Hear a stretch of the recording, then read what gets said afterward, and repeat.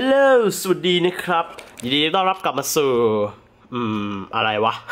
แกะกล่องชั้นเลวนะฮะ หลังจากครั้งที่แล้วนะฮะ ผมแกะ SNES Classic ไปนะ ครั้งนี้ผมก็มีแพ็กเกจพิเศษมาให้แกะอีกแล้วนะฮะ เพิ่งได้มาเมื่อเช้านี้เลย ไม่ใช่เมื่อเช้าสิ ตอนเที่ยง เออ เพิ่งได้มาเมื่อตอนเที่ยงนี้เลยเขาเพิ่งส่งมานะฮะ อันนี้ชื่อผมปิดเอาไว้ ก็ อืม ตอนนี้ผมมีขากล้องและน่าจะรีรวิวแน่าจะรีวิวได้สะดวกขึ้นนะฮะเพราะฉะนั้นเดี๋ยวมาดูกันเลยดีกว่าว่า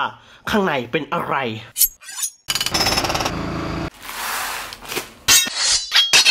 นี่ครับกับเจ้า Cintiq 13 HD นะฮะ Creative Pen Design นะฮะ ผมสั่งเมาส์ปากการุ่นนี้มาก็เพราะว่า ผมรู้สึกรำคาญเมาส์ปากกา อันที่ผมใช้อยู่มากนะฮะ มันค่อนข้างเล็กแล้วก็ไม่ได้ดั่งใจนะครับ คือถามว่าอันเก่ามันยังใช้ได้อยู่ไหม มันยังใช้ได้อยู่ครับ แต่ว่าผมอยากอัปเกรดตัวเองนะฮะ ให้มีอุปกรณ์ที่ดีขึ้นแล้วก็ทำงานได้สะดวกสบายมือมากขึ้นนะครับ อันนี้ผมบอกก่อนผมไม่ใช่คนวาดรูปสวยอะไรนะ แต่ว่า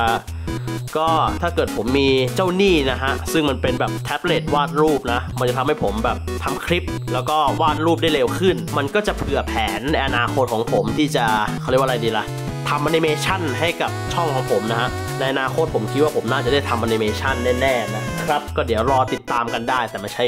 ณเวลานี้ โอเค มาเปิดกันเลยดีกว่า เอ่อมันยังติดเทปอยู่เดี๋ยว อันนี้ผมสั่งมาจากทางเว็บ Mouse Pen นะครับเขาก็สามวันมาส่งนะครับ ใช้ทางเคอร์เคอรี่มา นี่ อันนี้ก็จะเป็นตัว 13 HD นะฮะ ซึ่ง ซึ่งเดี๋ยวเดี๋ยวโชว์ก่อน ซึ่งนะฮะพลาสติกที่ห่อจะดูแบบสกปรกเลยนะ แต่ว่ามันไม่มีผลกับข้างในนะฮะ ผมได้ดูรีวิวมาหลายเจ้าแล้วนะฮะ ผมก็ค่อนข้างที่จะเป็น expert ทางด้านนี้นะฮะ การที่ดูรีวิวบ่อยๆทำให้ผมมีความรู้อันนี้เป็นช่องเสียบกับแท่นรองนะ โดยรวมบอร์ดค่อนข้างที่จะเบาใช้ได้นะฮะน้ำหนักเบาใช้ได้เหมาะกับการวาดรูปนะ แต่ว่าเห็นเขาว่าหน้าจอพอพอเวลาแบบไปต่อคอมจริงๆอะมันจะมันจะย่อขนาดเข้ามาหน่อยหนึ่งนะฮะ ทีนี้มาดูข้างในกันหน่อย อันนี้เป็นฐานนะฮะ เป็นฐานที่เขาให้มานะฮะ เราก็สามารถ ตั้งเขาเรียกว่าอะไรวะ เหมือนแบบให้มันเอ็นเอ็นอย่างนี้ได้นะฟึบฟึบฟึบปรับระดับในการวาดของเรา อันนี้ผมได้ดูจากหลาย ๆ สำนักมานะฮะที่เขารีวิวมาเขาบอกว่าตัวฐานเนี่ยมันไม่ค่อยมั่นคงนะ แต่ว่าผมยังไม่แน่ใจสักเท่าไหร่บางคนเขาก็บอกมั่นคง บางคนเขาก็บอกไม่นะฮะก็เอ่มสงสัยคงต้องไปดูกันเองข้างในอีกทีต่อมานะฮะข้างในก็มีมมีความว่างเปล่า อ่าอันนี้เป็น disc ซอฟต์แวร์กับคู่มือ อันนี้ก็น่าจะเป็นสาย power นะ ใช่ปะวะ น่าจะเป็น power แหละเนาะอันนี้เป็นแท่นเสียบปากกานะฮะ ผมยังไม่แน่ใจว่าปากกามันจะเป็นยังไงนะ เพราะว่าผมเพิ่งเคยจับบอลข้อมเป็นครั้งแรกเหมือนกัน อันนี้ก็น่าจะเป็นกล่องเก็บปากกาของเรา ดูดิแพ็กเกจสวยงามมาก มีซิลมาอย่างดีเลย เปิดครับ อืมชวงโอ้ปากกา เดี๋ยวแป๊บนึงดึงโอ๊ยโอ้ดึงค่อนข้างยากใช้ได้อะมาตรงนี้ก่อนหัวค่อนข้างใหญ่นะ อันนี้เท่าที่ผมรู้มานะว่าข้างหลังตรงเนี้ยมันมันสามารถเป็นยางลบได้ สมมุติเราวาดวาดอยู่อะเราก็ฟึบอย่างนี้แล้วก็ลบลบลบลบอ่า เจ๋งมากอันนี้ก็เพิ่งเคยจับแบบหัวใหญ่ครั้งแรกนะแต่ก่อนผมมีต่ปากกาอันเล็กนะ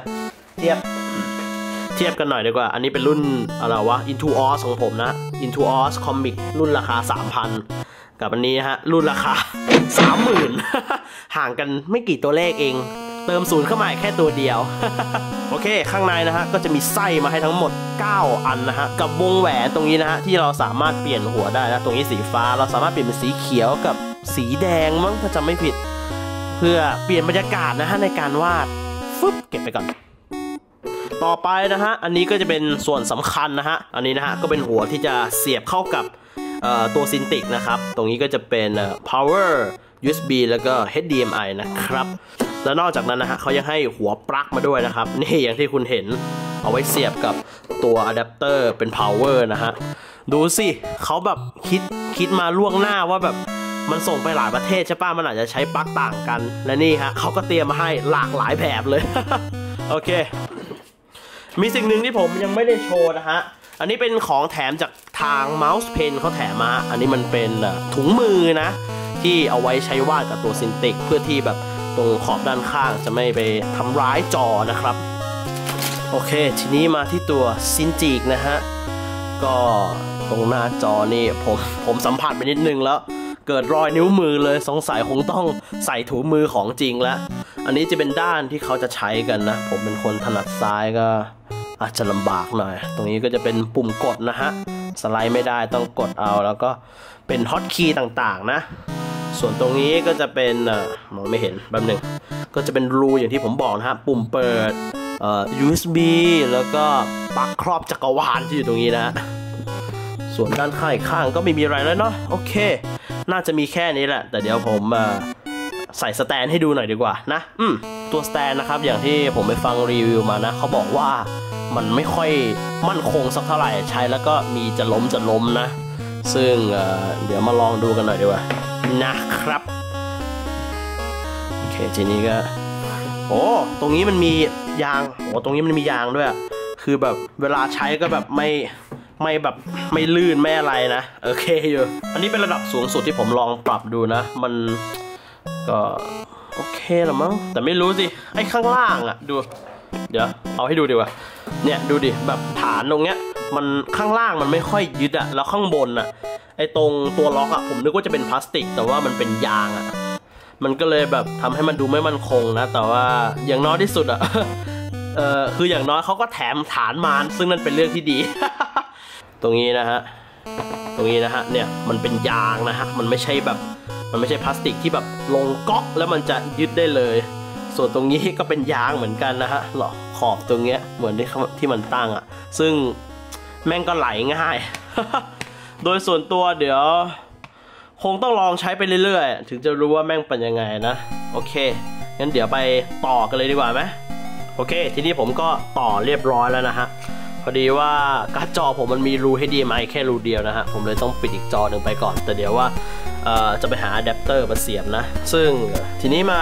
ลองกันเลยดีกว่า ผมได้ลองใส่ถุงมือไปแล้ว ก็รู้สึกว่าไม่เป็นธรรมชาติเฮี้ยนะ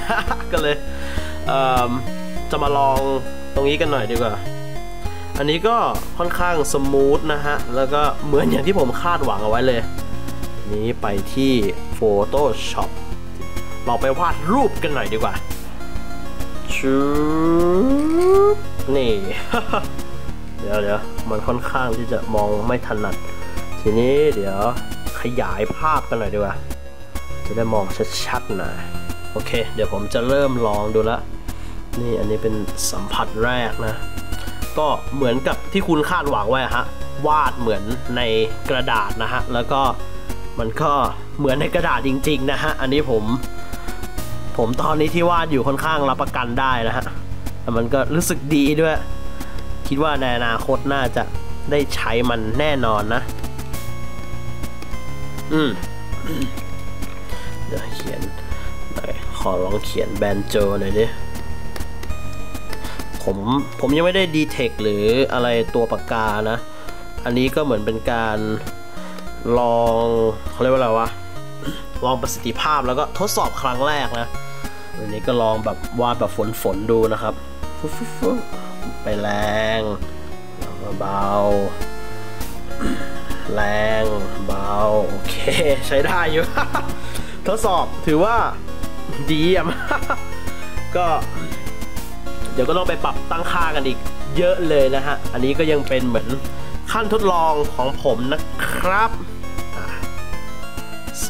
วัสดี โอเคเดี๋ยวเสียบฟุ๊บก็นะครับ ผมสำหรับใครที่อยากจะมีเขาเรียกว่าอะไรดีล่ะ อืมอยากจะมีเมาส์ปากกาดีๆนะฮะ ก็ไปหาซื้อกันได้นะครับ ผมส่วนตัวผมซื้อจากที่เว็บ Mouse Pen นะครับ แต่ว่าอันนี้ผมไม่ได้โฆษณาให้นะ ถ้าผมโฆษณาผมต้องได้เจ้าหนี้ฟรี เออล้อเล่นล้อเล่น ผมก็เก็บตังค์แล้วก็ซื้อมานะครับ ราคา 35,000ประมาณนี้ครับประมาณ 34,000 35,000 ราคาประมาณนี้แหละครับ ใครจะไปซื้อมือ 2 ก็ได้ฮะ ถ้าน้องคนไหนที่อยากฝึกวาดรูปในคอมนะครับ ผมแนะนำว่าให้ไปซื้อตัว Intuos มาใช้ดีกว่าครับ เดี๋ยวผมหยิบให้ดู นี่ซื้อเจ้าตัวนี้มาฮะผมใช้เจ้าตัวเนี้ยวาดรูปทุกอย่างที่คุณเห็นในคลิปของผมนะครับ มันก็มันก็ยังใช้ได้ดีอยู่แหละ แล้วสภาพมันก็อึดถึกทนใช้ได้นะครับ ผมแนะนำว่าถ้าใครอยากจะเริ่มวาดรูปในคอมนะฮะ แนะนำให้เริ่มจากเจ้าตัวนี้นะครับ ราคาไม่แพงนะครับ ราคาประมาณ 3,000แต่ก็ถือว่าคุณภาพดีอยู่ อะ ทีนี้กลับมาที่ตัว Cintiq ความจริงผมไปดูหลาย ๆ รีวิวมานะครับเขาก็เหมือนพูดประมาณว่า Cintiq เนี่ยมันมีปัญหาอย่างเดียวคือราคาค่อนข้างแพง ส่วนไอ้เรื่องอ c เซอรี่ที่เป็นขาตั้งก็ไม่ต้องไปใส่ใจมันนะฮะ อันนั้นเขาของแถมมา ก็เจ้าตัวนี้ราคาค่อนข้างแพงใช้ได้นะครับ ด้วยความที่มันเป็นแท็บเล็ตนะครับ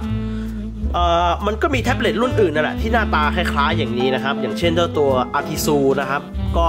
ลองไปค้นหากันดีๆครับ ราคาประมาณ 1 9 0 0 0 20,000 ก็ถือว่าแพงอยู่ แต่มันก็ถือว่าถูกกว่าเจ้าตัวนี้แน่นอนนะครับ ก็แกะกล่องครั้งนี้ขอไว้แค่นี้ก่อน